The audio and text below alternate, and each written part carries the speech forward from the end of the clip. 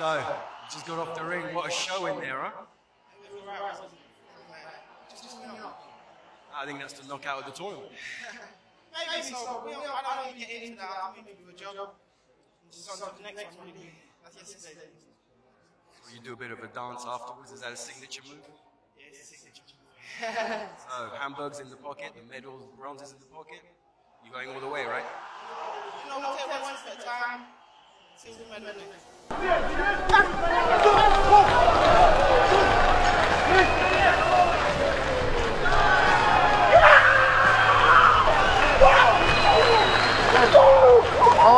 Calm down, calm down, calm down.